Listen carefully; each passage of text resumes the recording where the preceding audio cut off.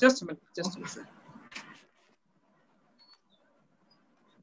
Um, respected uh, speaker, uh, resource person of uh, today's uh, JRF class, Dr. Emmanuel Chongpoi Hokip, scientist, soil science, ICAR Indian Institute of Soil Science, Bhopal. And uh, she's more specialized in soil science. And uh, we welcome you. And also we thank you for accepting our invitation and to speak and train our uh, students for JRF um, aspirant students. And uh, it will be a great uh, privilege to have you as a resource person, as a speaker, uh, to train in that area soil science. What are the possible um, things to study and questions from the soil science. And uh, thank you for accepting our invitation.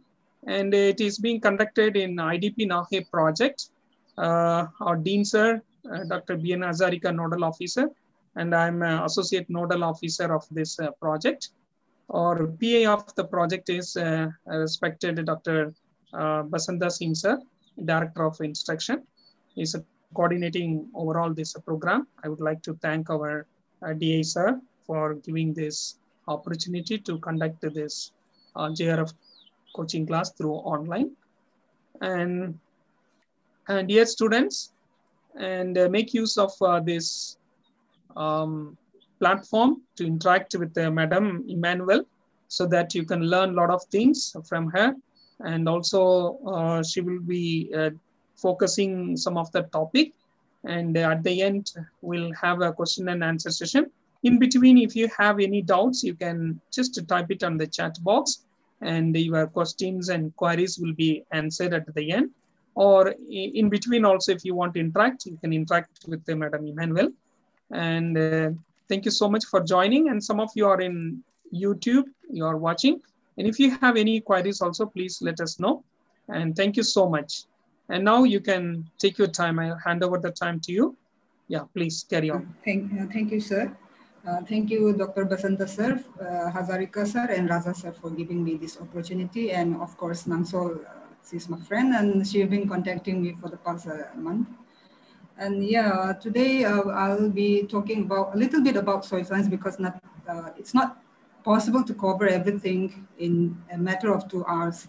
So what I feel important and what I have experienced for the past maybe a few years from my JRF preparation and other things that I will be sharing to the students. So yeah, I'm Emmanuel. I am a scientist in, from, uh, in soil science from Indian Institute of Soil Science. So today, um, just an overview of what I'll be talking about, like some important books for soil science as well as for other general agriculture, then pattern of examination, then uh, some other tips and some little bit about soil science. As I've said, it's not possible to cover everything. And you can always interrupt me in the middle if you have any doubts or uh, if you want to. And I have given my mail and my contact number, this have a WhatsApp. So you can always write to me regarding soil science, uh, any particular topic that you want. I can prepare uh, if you have a specific needs. If you have any specific topic that you have you have any doubt or if you want to know more about it, even uh, for a short while, uh, we can discuss through Zoom or through WhatsApp chat. So it's all um, we are all I'm always open to help you. So uh, yeah, these are some of uh, the books for soil science, and I have given some books in red color at the bottom, eight, nine, and ten. Then you have objective agriculture. This is a very important book for each of you Others are soil science specifics. So I hope by now every soil students preparing for soil science would have known by now that these are important. But 8, 9, and 10 are important for everyone because uh, if when you see your syllabus, you will be seeing some portion of general agriculture. So it's not possible to go and study back every agriculture subjects as such. Mm, so uh, number eight and number 10 will give you uh, an outline of what you need to study. So you will have some objective, some sort notes on a particular subject. So what I would like you to do is to cover everything in these objective books. So suppose if you are preparing for uh, horticulture, you need to know some things about uh, maybe agronomy, soil science, or maybe some plant pathology. So you go and look in objective agriculture and you study whatever is given there. there. And statistics is also another important subject, uh, which we find it very difficult. So even all those statistics questions, which are in number eight, so you just uh, study, you practice with uh, mm, the objective questions. So let's hope that uh, they will ask something from there. So when they ask from, for general agriculture, it won't be so tough. So you prepare in such a way that uh, you be able to answer it. And then you have another general agriculture. So uh, when I was analyzing some of the um, questions from 2019-20, uh, I'm focusing on 20, 2019 and 2020 because uh, the exam was conducted by NTA, National Testing Agency, and not by ICAR. So the system become a little bit different. So you have to also uh, change according to that. So and there, uh, what they asked was institute like ICAR institutes or international organizational institutes like CIMMYT, IRRI, where they are located. So uh, their headquarters. And then some government schemes are there, um, like, uh, uh, so this government have come up with many schemes. So you study all those schemes and then like uh, some day specific day, observance day, suppose ozone day, world water day, and um, then production of different agriculture commodities, who are the highest producer in the country, and how much is the production. Uh, so those are some of the things that uh, I, I, want you to see for general agriculture. And you have, must have heard so many by this week because I think you have heard uh, so many lectures already on these aspects. Then the pattern of examination is online, computer-based, uh, so conducted by National Testing Agency I've seen that there are 120 questions for two hours, so you will get a average of one minute for each questions. So you will have uh, the following questions, uh, which was around four, five. And then some previous questions are available in these uh, uh websites, IRI Topos and Agri Exam. You can, you can obtain from there.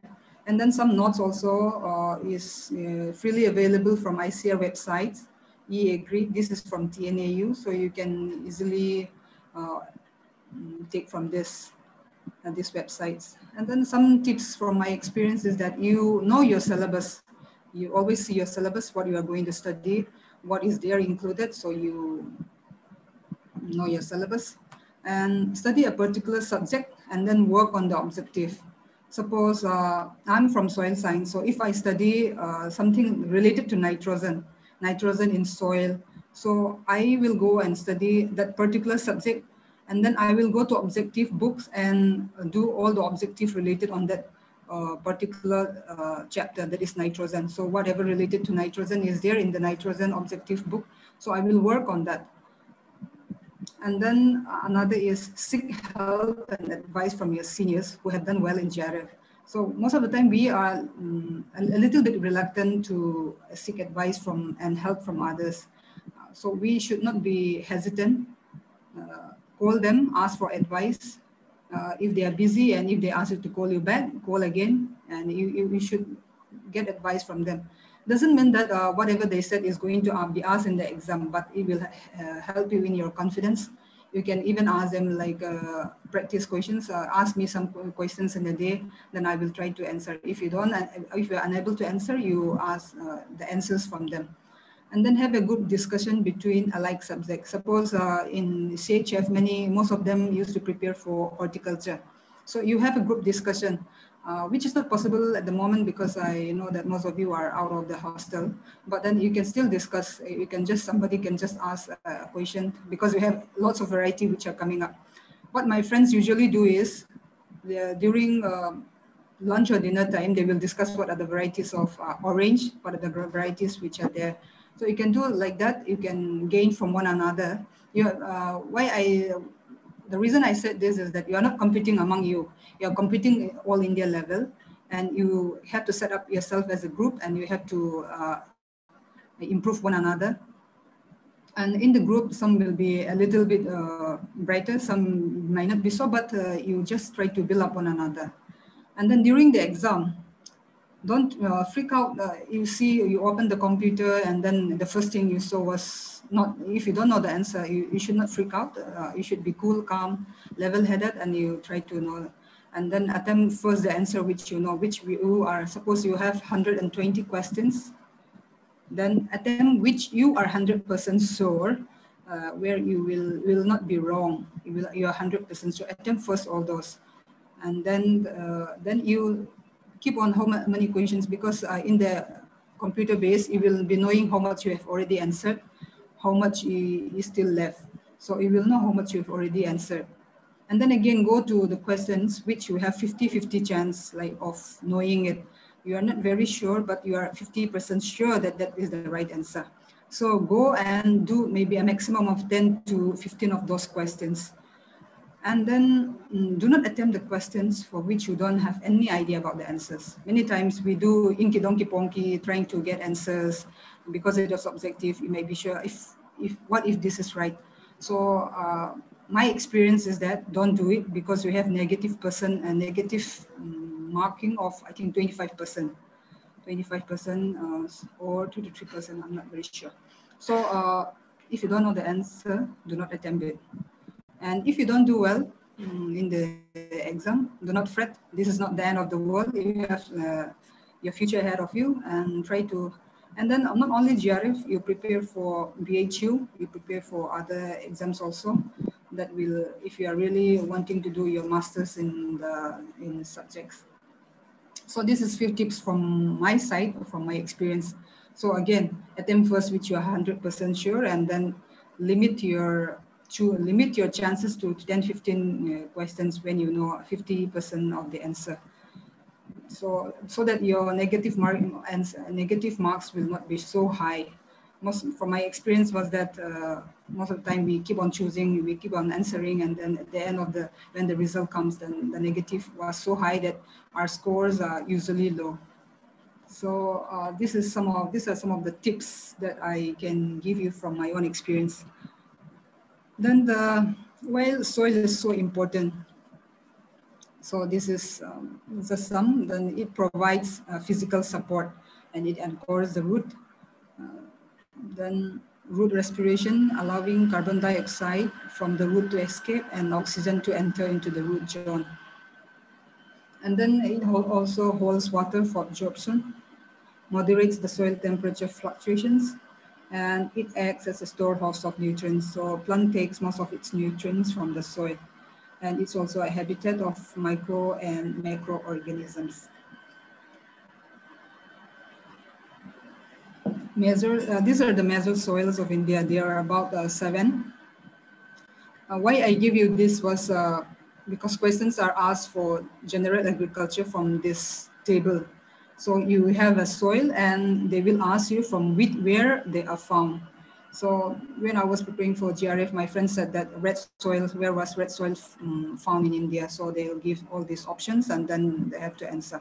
So likewise, you have alluvial soil. Alluvial means they are made from river.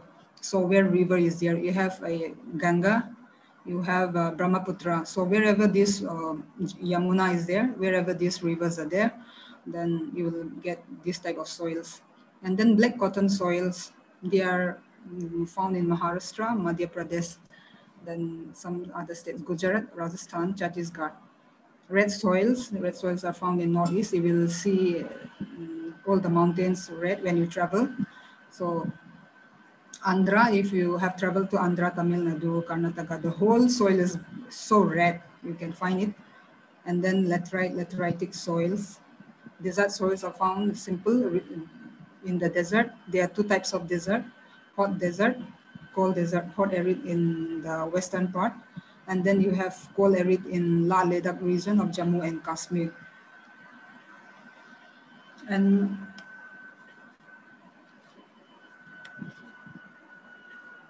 and you have salt, uh, salt forest and hill soils are simple. They are found in forest region.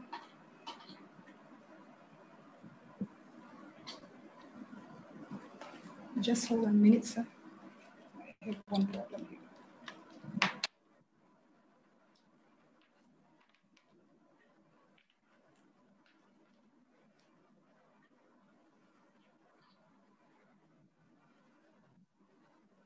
And then you have uh, salt affected soil. I have discussed in some other uh, chapters, so I won't be discussing here. And then you have peat and marshy soil. This can be asked because these are very particular type of uh, soils. Uh, you have in West Bengal, Sundarban area, if you have uh, visited, then there'll be this peat and marshy soil. And then you have uh, mangrove vegetation in the, those areas. These are Orissa, Tamil Nadu, and Goa. So um, I feel that it's important to study nutrients because these have been all asked as the general questions. So essential nutrients, why are they essential? Why are they called essential? Because they are directly involved in a particular function in the nutrition of plants. And then the deficiency will make it impossible to complete its life, its life cycle. So before maturity, if that particular nutrient is deficient, they will not complete its cycle, they will die or they will not reproduce. And deficiency is specific to the element uh, and can be only prevented by um, cor or corrected by supplying the element. So if you have nitrogen deficiency, you cannot correct it with potassium. You have to supply nitrogen. In case of nitrogen deficiency, you have to supply potassium in case of potassium deficiency. So there are 17 essential nutrients and nickel is the latest element that is added in 1987. So this is important. And then uh, there are many classification of essential nutrients, but I have yeah, which is a very simple one. Then you have a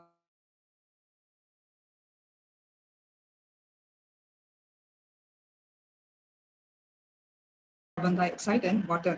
Carbon dioxide in the air and water from the soil or maybe from rainfall. So this constitute 96%. This constitute 96%.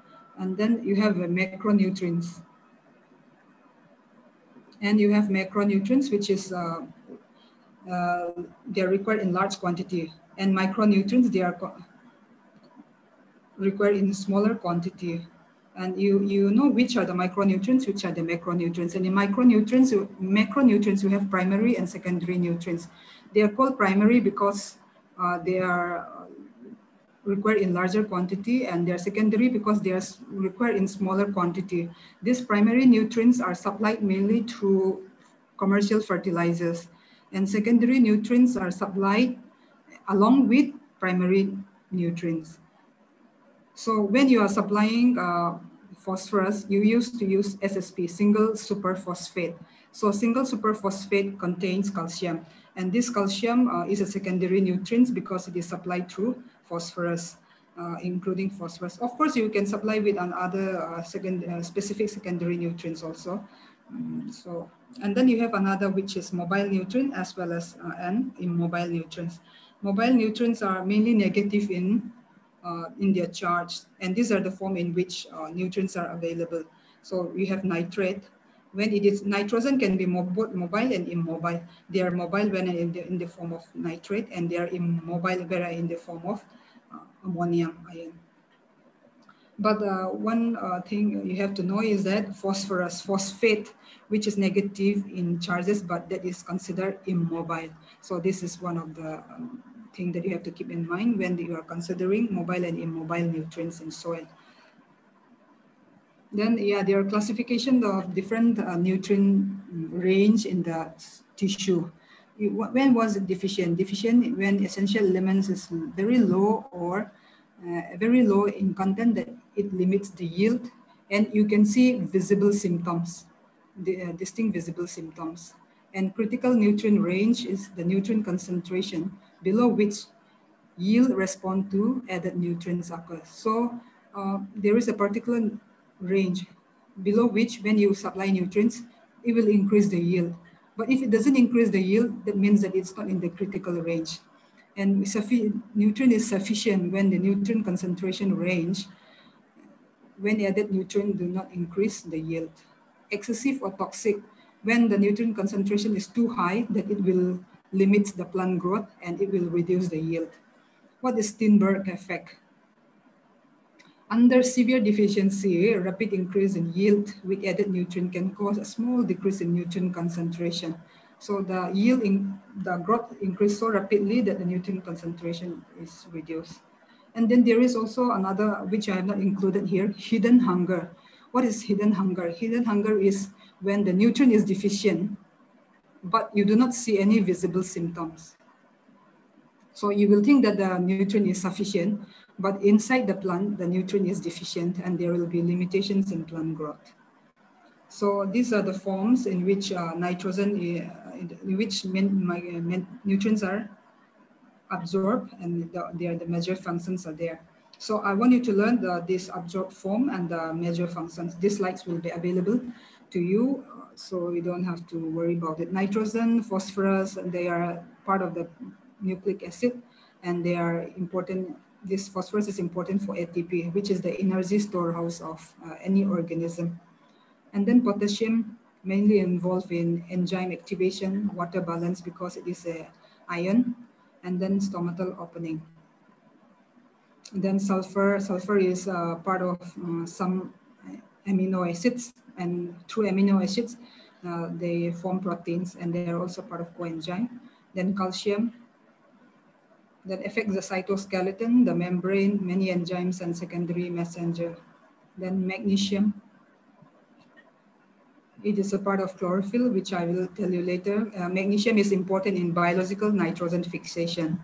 So when there is a conversion of uh, atmospheric nitrogen to ammonia, magnesium is one of the most important um, nutrient required by the plants. And then you have micronutrients. Micronutrients are mainly uh, required for enzymes. They are electron carriers. And then chlorine, Chlorine, deficiency of chlorine is not much seen in the atmosphere, but some in some plants it have been reported. Otherwise, uh, though it is essential, it's not largely deficient in plants. Then we have manganese, activation of many enzymes. And then mm, among all this, nickel, nickel is very important for urea, is a component of urease enzyme, which is used for uh, microbial degradation of urea fertilizers. And then you have molybdenum. Molybdenum is used for nitro, nitrate reduction. So these are the, some major functions. There are so many other functions, but uh, these are major functions. Then deficiency symptoms. Deficiency symptoms. Uh, so uh, in the previous year, I have seen questions in the maths the following that deficiency symptoms, nutrients are given and deficiency symptoms are given. There are some very uh, particular name given in deficiency symptoms uh, like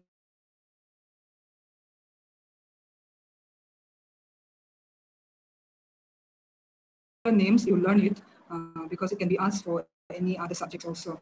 So nitrogen, it is mainly yellowing or chlorosis of the leaves. Then it, it started mainly from the older leaves. Phosphorus one of the most significant deficiency symptom is purple discoloration of leaves, especially in maize. When you see maize field, if there is any phosphorus deficiency, you will see purple color. So this is due to anthocyanin, anthocyanin accumulation. And potassium, uh, chlorosis necrosis at the edges of the leaf will give light as if it is a burn. Then calcium, calcium blossom end rot in tomato and bitter pit of apple. These are very important uh, symptoms, deficiency symptoms. And magnesium, interveinal chlorosis. And then sulfur. Sulfur is common in cruciferous crops such as cabbage and rapeseed because they require maximum quantity of sulfur in plants. And then we have boron, internal cork of apple, heart rot of sugar beet, marigold, and we have browning or hollow stem, and then cauliflower. So the cauliflower, there will be, if you see the stem, there will be browning or there will be hollow color. So you all are from horticulture uh, college, so you must have seen that uh, this type of uh, symptoms. Then in tobacco, there will be top sickness, well, the top buds will be rotted. Then iron, there is interveinal chlorosis on the young leaves and bronzing. So if I have shown to you mobile and immobile nutrients. So if it is mobile, the deficiency symptoms will be visible in the older leaves. If it is immobile, the deficiency symptoms will be visible in the younger leaves. So iron is immobile, so it will be So intervillary chlorosis is in the younger leaf. And bronzing, this is a very important uh, in rice. This is due to iron toxicity and especially found in poorly drained soils or submerged soil. So our the rice which we grow in India is mostly um, puddle rice soil. So if there is high iron content, there will be some kind of iron toxicity. And then manganese, gray speck of your oats, Marsh spot of peas, there will be black black spots in the in pea, and then speckled yellow of sugar beet. Copper, the deficiency is high in soils which have high organic content, and then such as in peat and muck soils. And zinc, white bud in corn, white bud in maize, and sorghum, little leaf in cotton, little leaf, this is important, and then mottle leaf for Frenching in citrus. So questions have been asked from deficiency symptoms, the particular names, and uh, the nutrients causing the deficiency symptoms. So movement of nutrients in soil in the roots. So you have mass flow, which will flow along with water, and diffusion is due to concentration gradient when there is movement of nutrients from higher concentration to lower concentration, which is uh, governed by Fick's law. And then root interception. So when the nutrients are very close to the root, it doesn't have to travel to the roots. It will, the root will just take it through its root hairs. And this was the first, the concept was first given by Barber. And theories and mechanism of nutrient uptake. What I want you to do with this is that you know the um, the theory and the scientists who gave them. So electrochemical theory is given by uh, Lundegardh. Then ion pump and ATPase is Mengel and Kirkby. And then you have carrier hypothesis by Epstein. Then there are also some um, elements which are beneficial for plants. So it's not beneficial for all plants, but beneficial for only some plants. Hence, they are not essential, they are not, they do not find part in the essential elements. So they are called beneficial. That is aluminum, iron, uh, sorry, aluminum, cobalt, sodium, selenium, and silicon. Silicon is found in high content in rice. It gives a robust nature of rice stem. So they are, then this uh, reduce the lodging of rice, uh, of high, high variety rice. Then you have uh, nitrogen. Nitrogen one uh, is one of the most deficient um, nutrient in India. Then you have uh, total nitrogen in soil, which range from 0.02 to 0.44. Indian soil content contains about 0.04 to 0.12 of nitrogen. You can see this is world average, but Indian soil is much lower in nitrogen. Uh, this is due to tropical nature of the soil. So it, our country is tropical and this is summer it's very hot. So during this hot season, all the organic matters are being oxidized by the high temperature. And these tropical soils contain um, lower nitrogen and organic matter compared to humid soils. As I've said, Indian soils are universally deficient in nitrogen, and which is due to low soil organic matter. And this is the extent of um, nitrogen deficiency then we have 63% uh, of our soil is low, and then medium is 26%, and high is only 11%, which means that nine, more than around 90% of our soil requires nitrogen fertilization. And then these are the different forms of nitrogen. So you have total nitrogen, and then you have available nitrogen. Available nitrogen forms the part of the nitrogen which is taken up by, taken up by the plants. And you have organic and inorganic nitrogen. Organic nitrogen uh, contains hydrolyzable nitrogen and non-hydrolyzable nitrogen.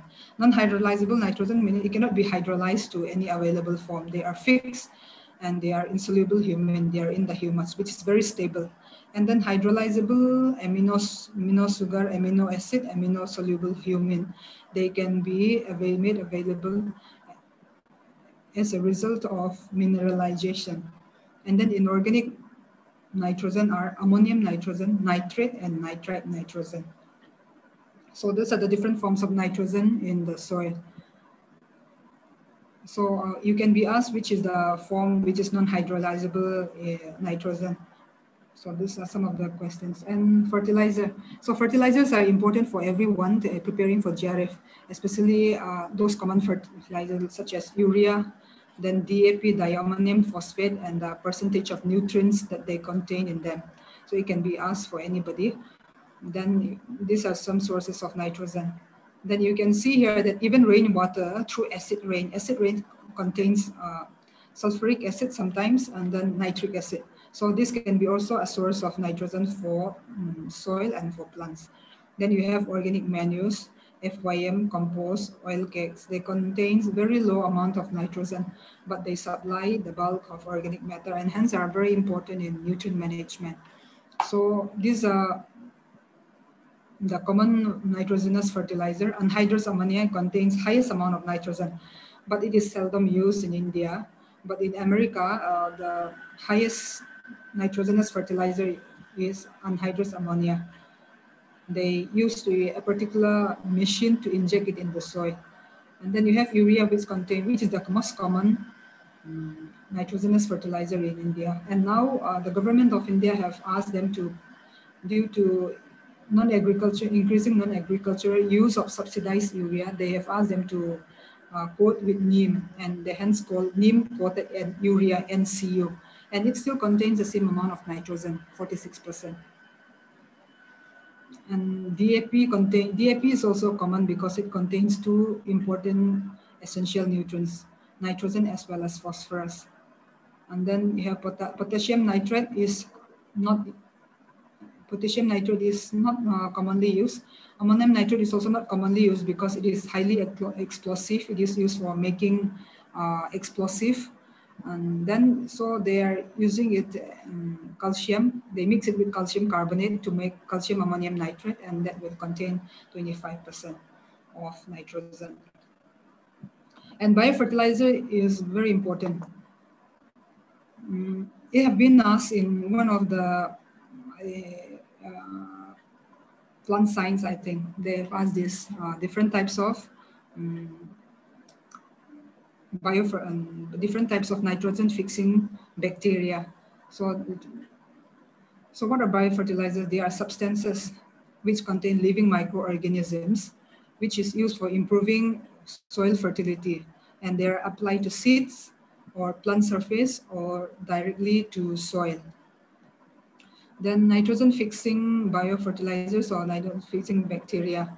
That, so nitrogen fixation there are two types abiotic. Abiotic is mostly uh, industrial and atmospheric. During thunder, there is a um, so there is lightning which react with uh, nitrogen in the atmosphere and they used to send nitrogen to the soil. So that is one. And there is another industrial uh, process of nitrogen fixation. So where still, yeah, the atmospheric nitrogen is uh, taken down uh, and through industrial process and they are converted into fertilizer nitrogen. And that is uh, the most common one is Haber-Bosch process, Haber-Bosch process. And then nitrogen fixation by biotic, uh, mostly two types, asymbiotic and symbiotic. Asymbiotic is uh, where two or more organisms, they coexist. Symbiotic is they exist uh, by drawing nutrients or and by the other one giving shelter and the other one drawing nutrients. So you have two types in symbiotic root nodules and one which does not form root nodules. So azorhizobium do not is a symbiotic nitrogen fixing bacteria, uh, azorhizobium. It has stem nodules and root nodules. So this classification is important and uh, you learn it and you Um, be ready for this. You can be asked for the following as well as for objective. And then this is the capacity, supplying capacity. Azolla, Azolla is used in other, in lowland, wetland soils, especially with rice. And then BGA, Azotobacter and Azospirillum, they are mostly used in maize and sorghum. They can fix about 10 to nitrogen, 10 to 20 kg nitrogen per hectare. And this is a root nodule showing uh, pink color. So pink color is due to leghemoglobin, lack hemoglobin. So you, you, you keep in mind this.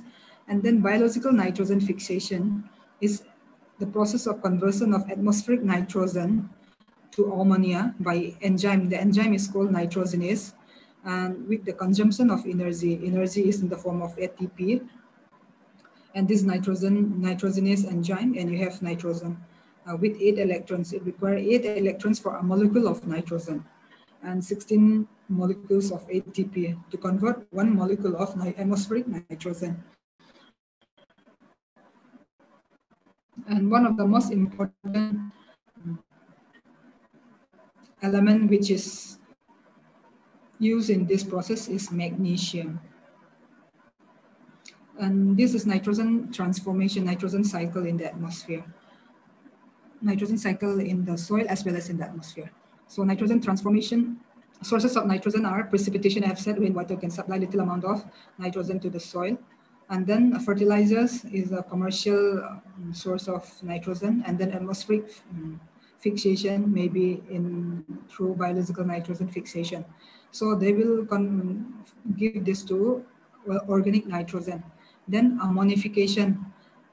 Organic nitrogen is in the form of amino acids or proteins through, through ammonification, they will form ammonia and then nitrosomonas, then they will convert to nitrate and nitrobacter. So nitrosomonas and nitrobacter are very important um, bacteria which are used in um, nitrification process.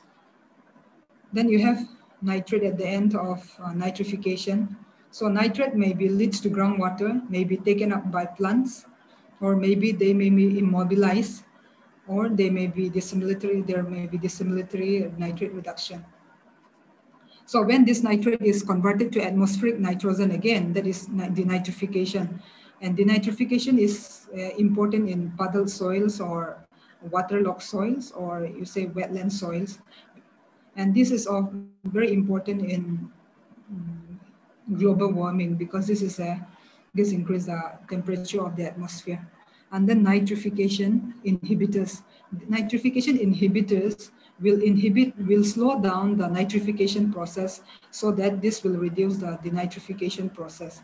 And so you learn some of this nitrification inhibitors in the commercial name of N-Serve, then dicyandiamide, and neem cake is one of the naturally occurring nitrification inhibitors.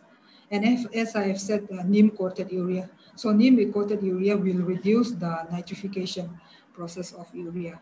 Then we have immobilization. What is immobilization?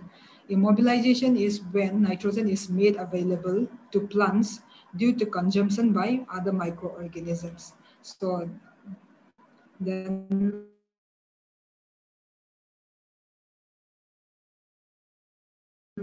the available nitrate in the soil and then, then this will complete the cycle through organic form again. So immobilization and mineralization are two opposite process.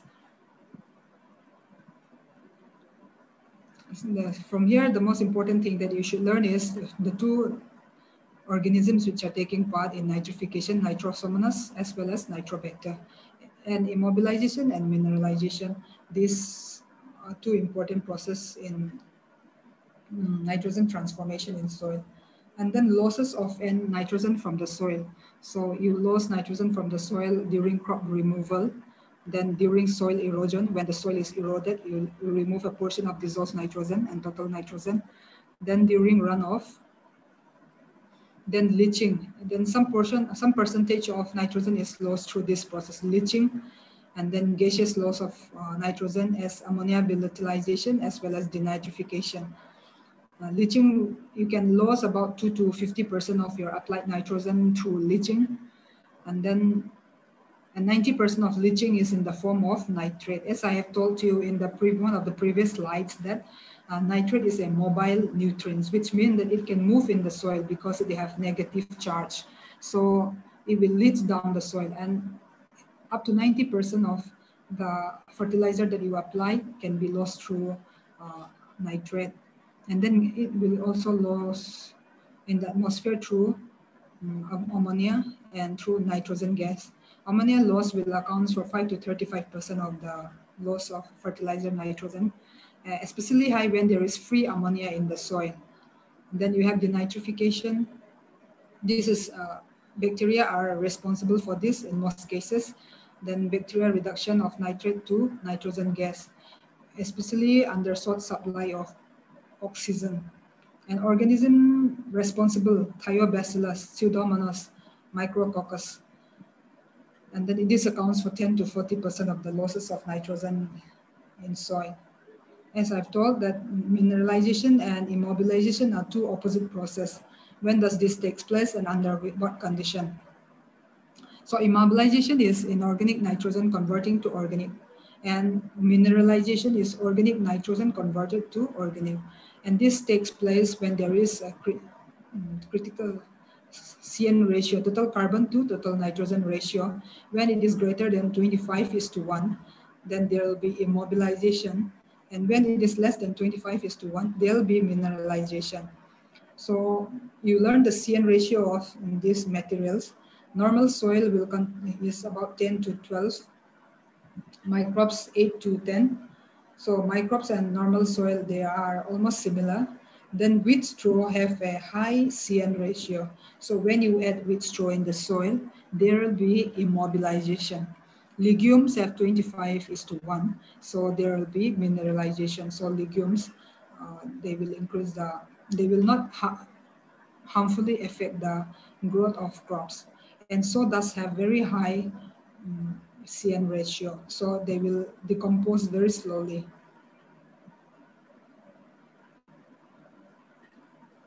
Then what are the environmental implications of nitrogen fertilization? So when nitrogen is applied, it will lose into the I have told you that it will leach down in the soil so they can reach the groundwater. And then, then when this groundwater is uh, used as a drinking water, uh, that is harmful for health. And consuming more than 10 milligram of nitrate per liter of water, that is 10 ppm, of nitrate. This causes blue baby syndrome or methemoglobinemia in babies. This is a very important environmental implications of nitrogen fertilization. And then you have eutrophication in water bodies. Uh, when there is uh, planktons or green growth in is very high, when plant growth is very high in lakes and water bodies, then it will increase the growth of those plants and the, there will be lack of oxygen for fishes, though, so the fishes will die. And then escape of nitrogen and nitric oxide in the atmosphere during the nitrification. It damages the ozone layer as well as add to global warming. Then soil test for available nitrogen is, there are many other soil tests, but the, the most important one and the most commonly used in, in India is mineralizable nitrogen of Subbiah and Asija method. So we are distilling the soil with alkaline uh, uh, potassium permanganate with a mix indicator and then collected with boric acid and titrated with um, 0.1 normal H2SO4, that is sulfuric acid. So fertility category is here. Um, we usually, after testing, we usually uh, divide into uh, whether the soil falls into low, medium, or high category. Low category if it is less than 280 kg nitrogen per hectare, and medium category if it is uh, between 280 and 560 and then uh, high if it is more than 560 kilogram nitrogen per hectare. And as I've said, uh, most of the Indian soil falls below uh, between low and medium category and only 11% is in high category. And total N is through digestion with digestion mixture and acid. So you're digesting the soil with concentrated acid and then digestion mixture. So this uh, is related to nitrogen. And we have phosphorus. This is the second most important uh, essential nutrients found in the um, soil. And then P content in Indian soil is 100 to 2000 ppm. This is quite high. The total P content is quite high, but available P is low. So these are the fertility status uh, from different years, which have been given by uh, different scientists. So you, here also you will see that only 11% of the soil have high fertility status, which means that phosphorus is very important nutrient to improve crop yield. And this is the availability of um, phosphorus um, as a function of soil pH. You will see here that uh, range for highest phosphorus availability is in this pH range 6.7, between 6 and 7.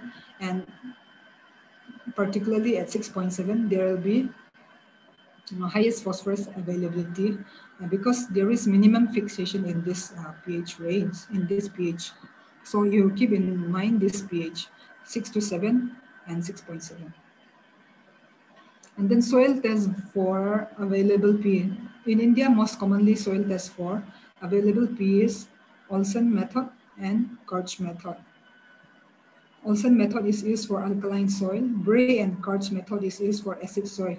In Northeast, most of our soil are acidic in nature, so we are using Bray and Kurtz method. And this is alkaline soil, like soils in Delhi and soils uh, from the other parts of the country are alkaline. So we usually use this uh, sodium bicarbonate method. And then, yeah, the fertility status are different for Olsen and Bray and lower for 10 kZp per hectare, and then medium for 10 to 20, and then height for 20. And yeah, for Bray, 30, and then medium is 34 to 68. So you will see here that this is double. Uh, low, high is double of medium. So 10 into 2 is 20.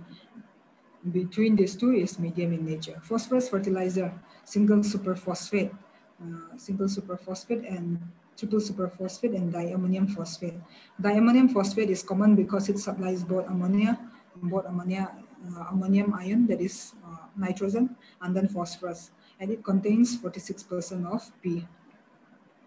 And you can convert P to P2O5 by multiplying P with 9, 2.29. So if you multiply P with 2.29, then you will get P2O5. So time of P fertilizer application is basal. That is at the time of planting, you are applying the P fertilizer and method is band placement. The most common method for urea fertilizer application is uh, top dressing or broadcasting. You are broadcasting the fertilizer uh, after the growth of plants.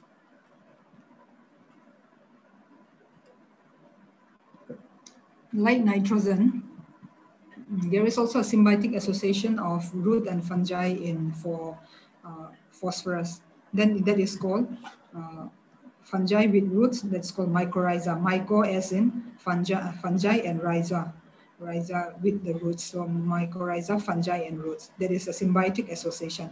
There are two types, ectomycorrhiza and endo. Ecto means outside. Here the fungus uh, remains outside the root. It doesn't penetrate the root. So the fungus will form a mantle or a seed around the soil surface. And this is called Hartig net. And mycelium develops intercellularly. It do not penetrate the cell. So example is Boletus and Amanita. Endomycorrhiza. This is more important than ectomycorrhiza. Fungus will develop intracellularly. So they will penetrate the roots, they will um, penetrate the cell, and then they will be correct. This is characterized by formation of vesicles. They will formation vesicle like a round structure and hence called vesicular or arbuscular mycorrhizae. They are glomus and endosian. Vesicles will store oil droplets and phosphorus. So this is a storage point of phosphorus. Why is it so beneficial? Because it acts like a root extension in three ways. This is a picture of mycorrhiza. So you can see the plant roots and you can see the mycorrhiza surrounding it. So this acts as extension of the roots. It increases absorption of available nutrients. It increases the absorption of already available nutrients. Another one is it increases the availability of nutrients by solubilizing insoluble nutrients. It solubilizes the insoluble ones, make it soluble, and then increase the availability. Another one is that it increases the mobility. So it acts an extension of the roots in areas where the plant roots cannot reach and the nutrient will travel through the hyphae or the fungus and then it will reach the roots. So these, uh, these are three ways in which uh, mycorrhiza is beneficial for roots. Then we have potassium, which is the third uh, macronutrient, macronutrient and primary nutrient. Then fertility status. Fertility status of potassium in Indian soil is quite good because about 38% of our soil is high in uh, potassium status. And then these are the forms of uh, potassium in soil. You have solution K. The soil solution will contain 10 to 1 to 10 ppm of it. And then this is the forms of K which is available for uh, crop uptake. So you can supply this through fertilizer or you can supply this through rain. And this potassium is also susceptible to leaching. And then this can go to exchangeable uh, forms and exchangeable forms can come to solution forms. And then we have slowly available, which is non-exchangeable K, and then very slowly available, which is the mineral K. This 90 to 98% of the total K is in this form, which means that only a little portion of the total K is available for plant uptake. And then very important term in, potassium nutrition is quantity inter, intensity relationship. This is given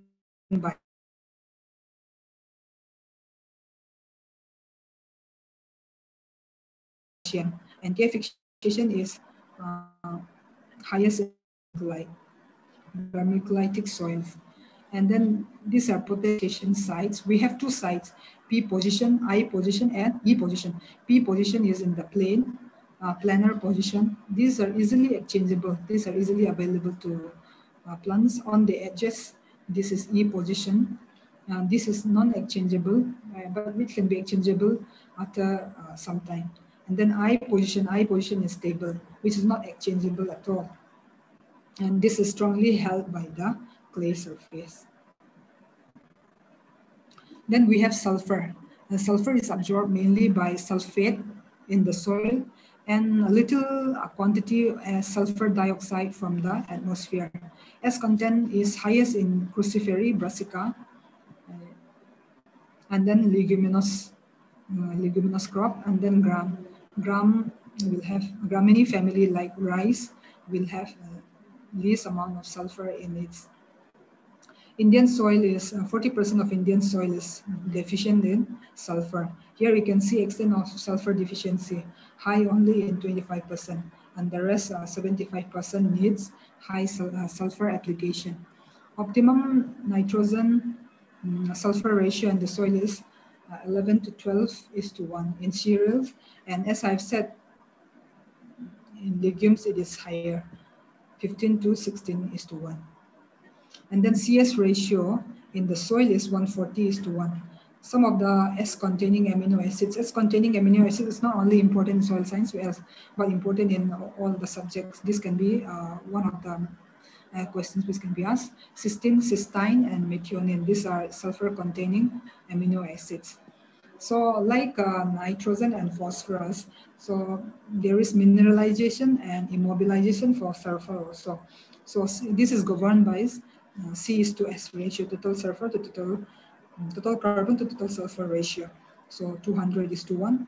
And then if it is less than that, there'll be mineralization. And 400 is to 1, the immobilization. Between this, there'll be an equilibrium, meaning there will be not much change. And then soil test for available sulfur. Then uh, we have two most common soil tests, which is 0.5, 0.15% calcium chloride, then deficient if it is less than 10 ppm, and 500 ppm P solution from prepared from monocalcium phosphate. And P con sorry, this is should be S, S content. S content is estimated using a turbidity meter or nephelometer. So this is the instrument used for estimating sulfur in, uh, in sample. Then calcium and magnesium. Calcium and magnesium deficiency is not so much found in the soil, but only in very acidic soils like acid soils of Northeast India. And deficient when exchangeable calcium is 2 milliequivalent per 100 gram soil. So, and magnesium is less than 0.5 milliequivalent per 100 gram soil. Magnesium deficiencies can occur in soils with high calcium to magnesium ratio. So calcium and magnesium, calcium is higher in quantity, higher in quantity. And when the cell calcium is higher, then there will be not much of magnesium deficiency. But when calcium, magnesium is, calcium and magnesium ratio is more than 10 to 15 is to one, then you will observe magnesium deficiency in plants. As of the chlorophyll accounts, 15 to 20% total magnesium in the plants. And in most soil exchangeable, magnesium is 4 to 20% of the cation exchange capacity. Aluminum saturation of 65 to 70% is often associated with magnesium deficiency. There is always a competition for ammonium ion and magnesium ion, and that can reduce magnesium uptake. And this is responsible for grass tetany disease in cattle, where the um, forage contains less magnesium. Then micronutrients. Micronutrients are those nutrients which are required only in small quantity. So these are the critical limit and this is the extent of deficiency. So you can see in 2000 from the study between 2011 to 2017, zinc is 30 deficient. This is the most deficient micronutrients in, plant, in Indian soils, where 36.5% of the soil is deficient in zinc, then iron 12.8, then copper 4.2, and then manganese 7.1. Then these are the method of estimation. So zinc, copper, mm, iron, and manganese can be estimated through DTPA solution. And then boron is used uh, is using hot water and then molybdenum use ammonium oxalate at pH 2.3. So uh, we have soil fertility evaluation. So we have already studied different nutrients and the method in which they are estimated in plants and soils. So we have uh, we need to evaluate the soil fertility. There are different methods. One is microbial method, and the next is vegetative method, and another is chemical method microbial method is we are using microorganism, as Azotobacter, Aspergillus, and then uh, Cunninghamella plaque test. This is mainly for phosphorus. In vegetative methods, we are using visible symptoms, uh, the deficiency symptoms that are shown when the plant is deficient of that particular nutrient. Here we can see purple discoloration, which is a, uh, a sign of phosphorus deficiency in maize. And this maize is used as a phosphorus uh, deficiency indicator plant. And then chemical method. This is easy and quick. And we, this can be done by plant analysis or soil analysis. So DRIS um, diagnosis and recommendation integrated system, which is first uh, proposed by Beaufils. You just know the name. And crop logging is uh, first used in sugarcane in Hawaii, and then critical limit. So critical limit is the limit below which plant soil deficiency symptoms. This was first uh, used by Cate and Nelson. And then soil analysis, uh, very important method uses soil uh, nutrient index value, which is first given by Parker, and then first used in India by Ramamoorthy and Bajaj in Indian soils. So when the value is uh, less than 1.67, it is low, between 1.67 and 2.33 medium, and high 2.33. Uh, above 2. Point, this value is high. So soil fertility ratings, like as I have shown in the previous slide, in case of nitrogen, phosphorus, and potassium, soil fertility ratings, we are rating whether the nutrient is low, medium, or high. So this was asked in one of the um, exams that we have given when was soil testing laboratories established in India. So 1955-56, and if it is given only one year, it should be 1955.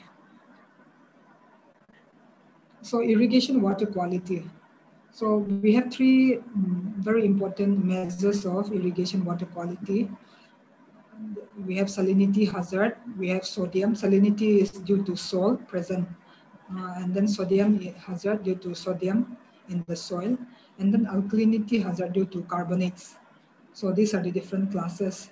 So residual sodium carbonate of less than 1.25 is can be safely used for, this was asked in one of the exams that we have given in general agriculture, not in soil but general agriculture. So I feel this irrigation water quality is important for everyone to know. Um, so the class and the, the EC, electrical conductivity, sodium adsorption ratio, these are the um, formula which I have given. So you learn this, this will be made available for you and then alkalinity hazard, whether the soil is alkaline or not. So these are the values are given and whether it can be used safely or not are also given. And then soil organic matter. Soil organic matter is very important. And hum there are two types. There are two um, terms which is important, humus and soil organic matter. Humus is stable and they are a complex resistant mixture. It's a stable and resistant. It's a mixture of brown or dark brown amorphous and colloidal organic substance that result from microbial decomposition, uh, or they can be synthesized and then have the chemical and physical properties of great significance to soil and plants. They control the many reactions that are going on in the plant system. And then soil organic matters refers to non-humic substance. So total organic matter is there and it constitute, this soil organic matter constitute 10 to 15%.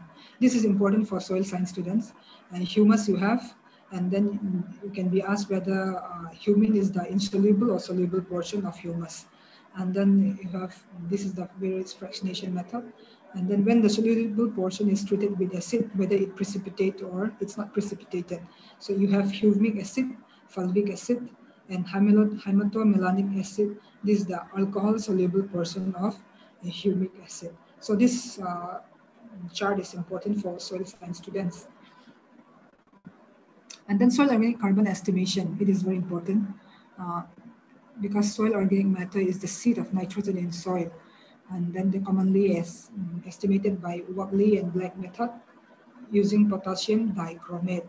Uh, I'm sure you have done this in your practical uh, classes.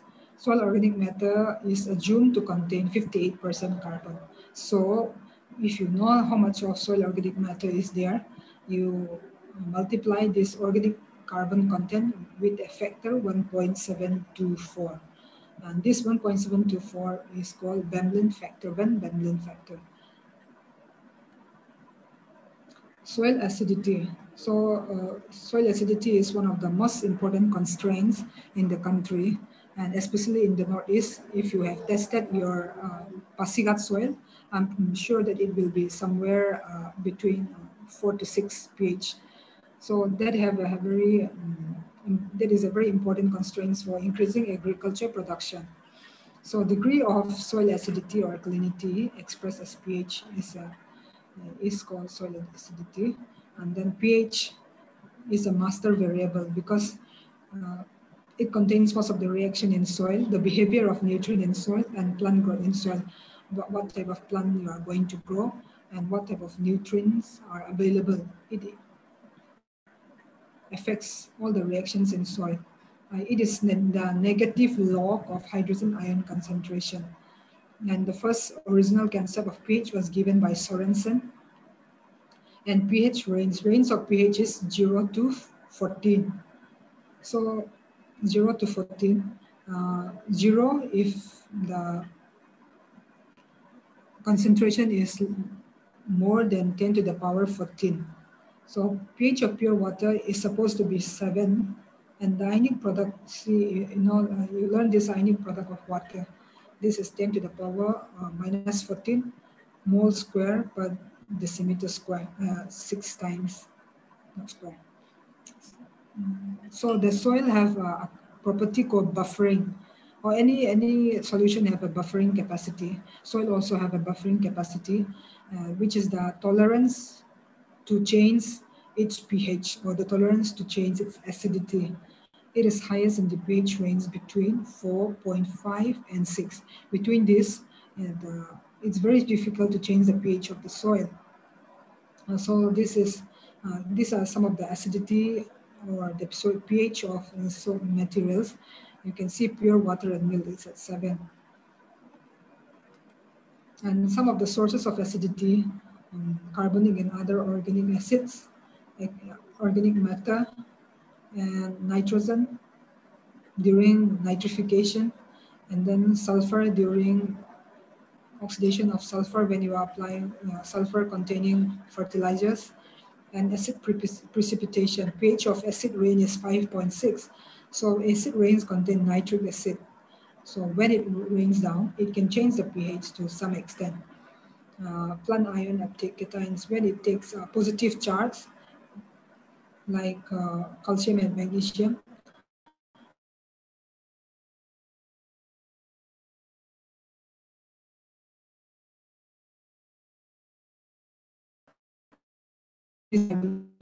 details. This is for soil science students. You have active acidity, exchangeable acidity, residual acidity, and then total acidity.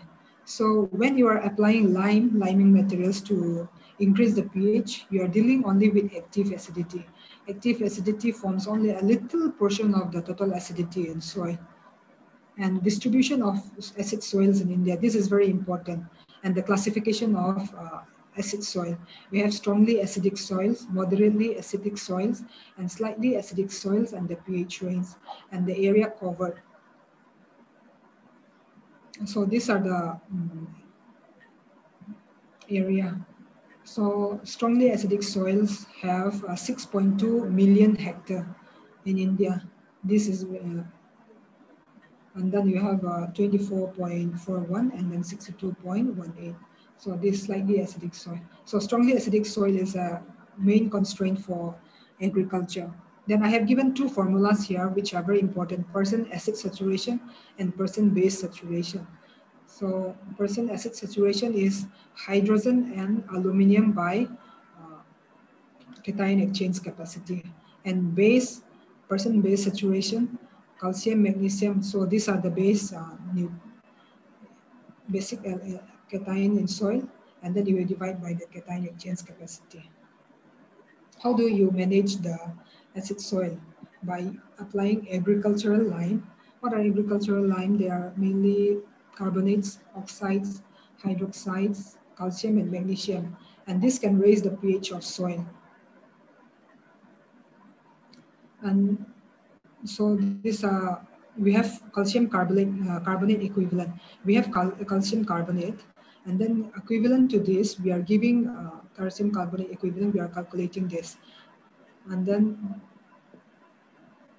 so calcium carbonate is here, which means that calcium oxide is having more uh, liming effect than calcium carbonate. And dolomite, which is calcium magnesium carbonate, is a little bit more effective than calcium carbonate. So important thing is to learn the calcium carbonate equivalent of these uh, liming materials. Soil, salt affected soils. Um, salinity is due to chlorides and sulfates of calcium, magnesium, and sodium. And these salts are developed from weathering, groundwater, irrigation water. As I have said that irrigation water quality is important. And then sea, there's from seawater intrusion into the land. So salinity uh, questions were have been asked from this for general questions. So we have exchangeable sodium percentage, and then we have sodium adsorption ratio. Uh, important thing is to learn the formula. Exchangeable sodium percentage, as the name suggests, we are dividing the exchangeable sodium by total uh, cation exchange capacity. So as the name suggests, there should be percentage and hence we are multiplying by 100. And sodium adsorption ratio, it's a ratio sodium as a numerator and calcium magnesium divided by 2 whole square as a denominator. So this measures the sodium mm, hazard of the soil, so changeable sodium percentage and sodium adsorption ratio. This is important for all subjects. And classification of salt affected soils. And then we have here, uh, most, the most important is pH, EC, and sodium adsorption ratio. These have been always asked uh, for plant pathology, for physical science, for horticultural science. So you know the there are two, three types of soil affected soils, saline soils, saline sodic soils, and sodic soils. Sodic soils will have high uh, sodium adsorption ratio compared to the other two. So this is uh, the classification. Uh, important thing is to learn this uh, table. And pH, saline soil will have uh, less than 8.5 and saline sodic soil and sodic soil will have high uh, pH. And electrical conductivity is a measure of salinity. So uh, saline soils will have high salinity that is more than four and saline sodic soil also will have more than four and sodic soil will have very less salinity, less salinity compared to this saline and saline sodic soil. And sodium adsorption ratio, uh, sodium adsorption ratio, sodium will be high in sodic and saline sodic soil. So you have more than 15, more than 15. Or in some cases, they'll be, you will be given a value of more than 13. And this is lesser in saline sodic soils. Then the structure, these are saline and saline sodic soils are flocculated this will have a pore structure. Saline, uh, sodic soil will have a pore structure, hence the soil will be deflocculated. So infiltration and drainage are poor in sodic soil. And then nomenclature, we are using Solonchak, Solon chalk for uh, saline and Solonetz, Solonetz for sodic soils.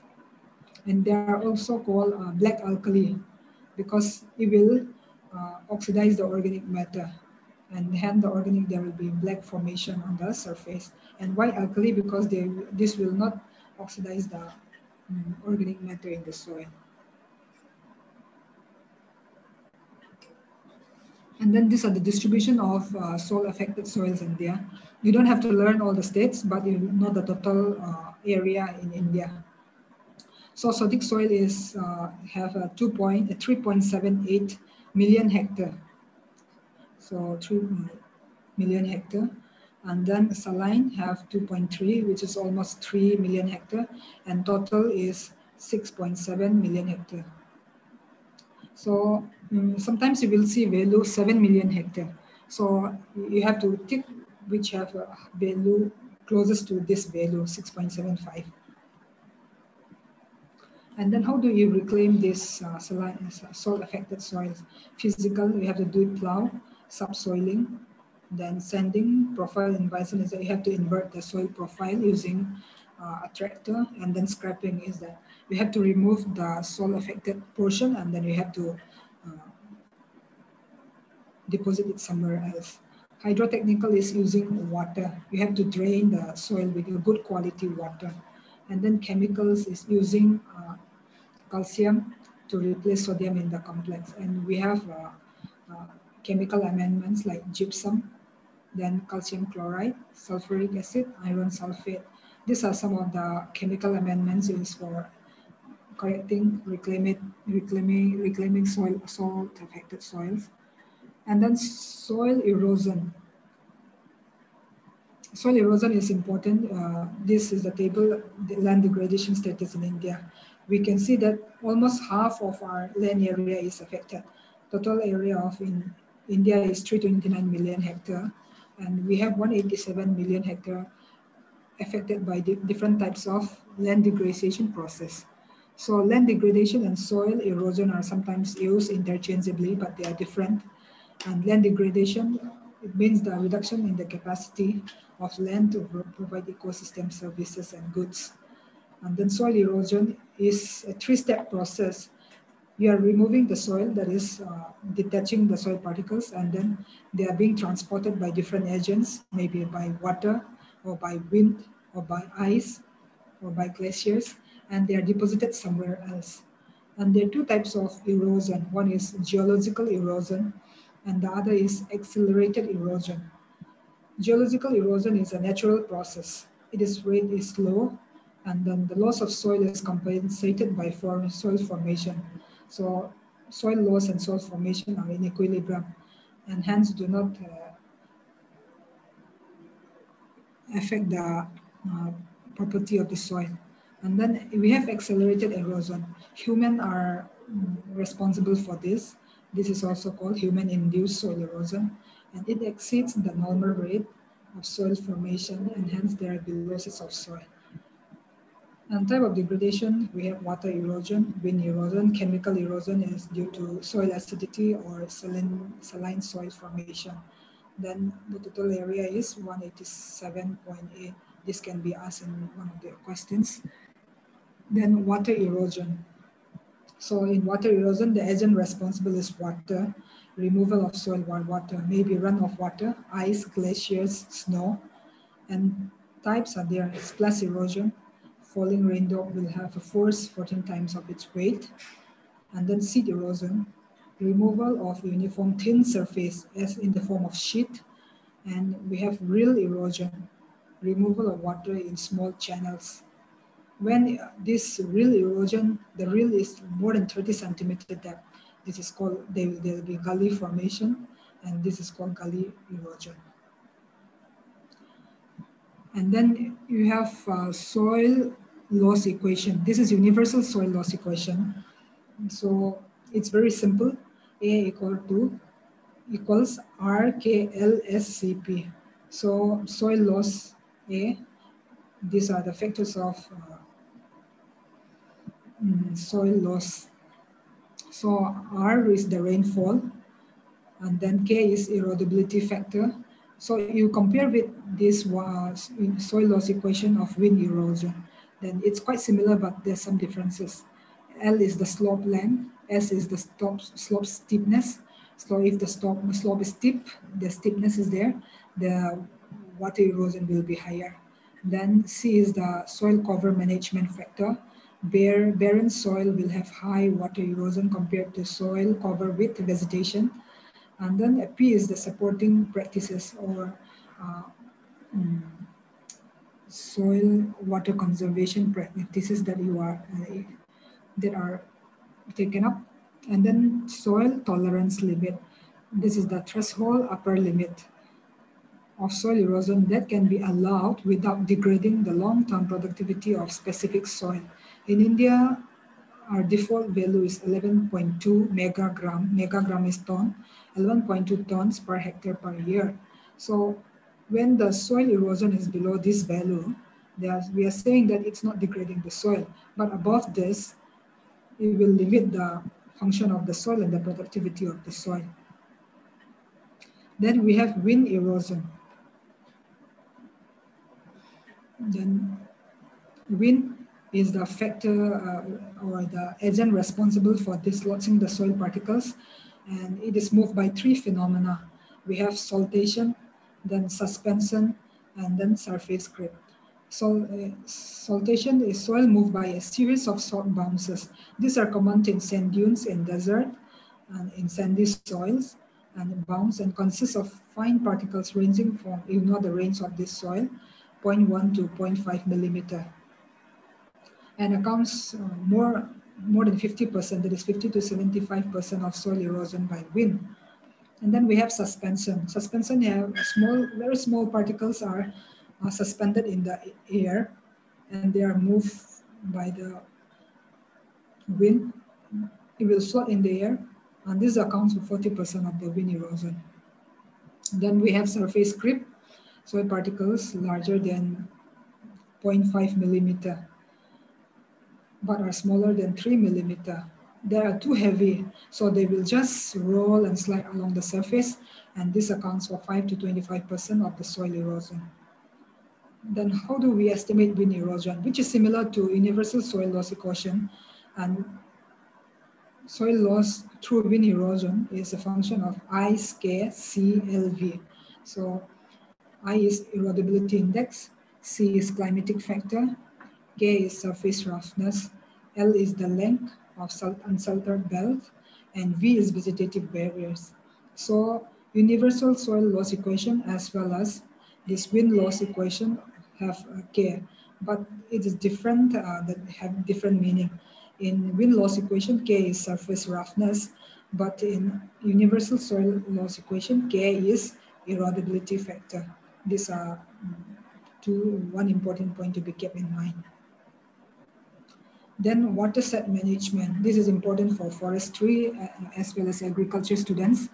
Uh, then what important here is that you have to know the size of this water. So you have water which is 50 to 2 lakh hectare. Um, have sub milli, micro, mini. So that is a way to remember sub milli, micro, mini.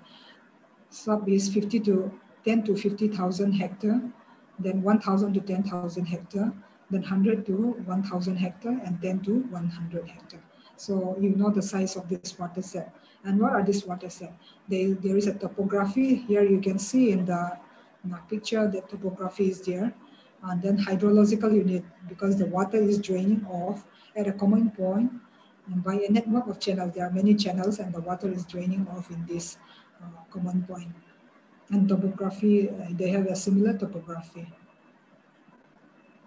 So uh, that will be, there are many other slides but that will be for my lecture. Uh, if time permits, then we can take some more, but uh, I'll be more interested in the discussion part. Hello, sir.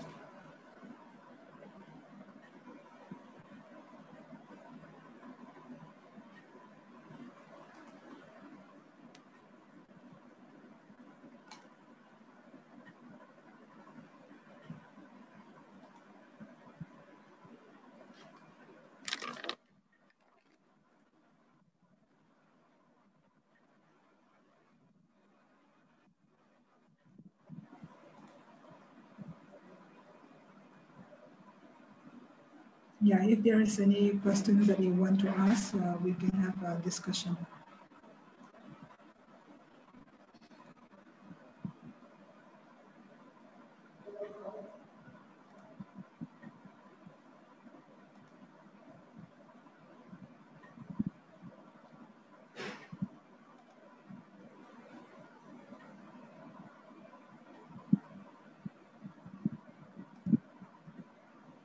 Yeah, have you finished it?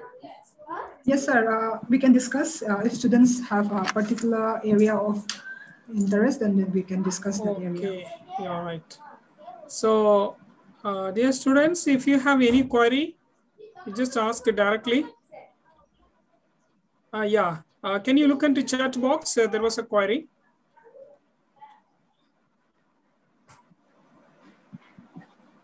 The chat box, it is written that Yeah. uh, miss in hilly area is deficiency in which nutrient? In fact, uh, Morris is uh, very high in nutrient content because they have very high uh, organic matter. But the problem which we have here is very high erosion. So phosphorus uh, fixation due to very highly acidic soils. So phosphorus deficiency is one important nutrient which is uh, deficient in northeast soil. As I have uh, shown in the one of the previous slide that the pH is affecting the phosphorus availability. So pH between six to seven have, uh, between that pH, phosphorus availability is high, but as northeast soil have pH between four, four, five, six, below six. So phosphorus is one of the mm, main nutrient which is deficient. And next also will come potassium.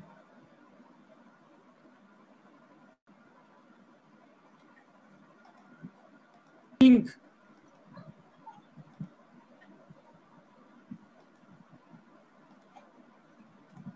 What about the zinc actually?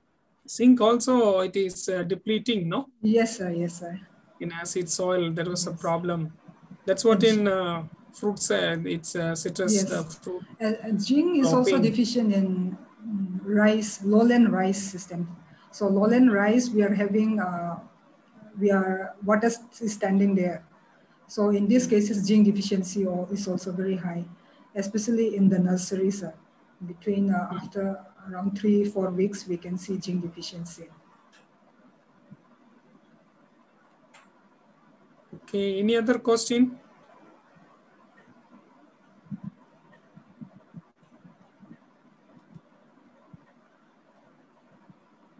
Okay, if no other question, then uh, thank you so much, uh, Dr. Emmanuel, for uh, giving your valuable time to uh, coach our students in the soil science discipline. Thank you so much. Thank you, student, for joining us. And uh, we will, I think I have um, uploaded that uh, um, link also. Please use it. Okay. Sir, Thank you sir, so much. Just, yes, sir, sir, just few points. Uh, Yeah. My humble request to students is talk to your seniors, talk to anyone uh, who is uh, um, experience, write to us because uh, sir have uh, all of our numbers and give us a particular chapter which you want us to um, give it to you. So we will be ready to contact you anytime, maybe through Zoom or uh, through any mode. I have talked to uh, some of the students and they are very eager to learn. But you talk to your seniors for notes, for anything, for any kind of guidance, because uh, seniors are very ready to help. If you're not talking, uh, we cannot come and help. But if you talk on and if you ask us only, then we will be also ready to help. So please seek uh, advice and help from others. Do not hesitate to talk to others. That is my humble advice from, um, that's from my side, sir.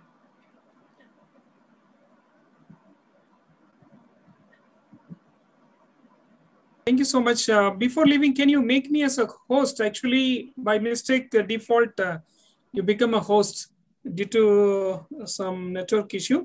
Can you make me host? I will enter the sure, meeting. Sir, sir. Yeah, the co-host now, sir. Uh, no, no, no. Make me a host.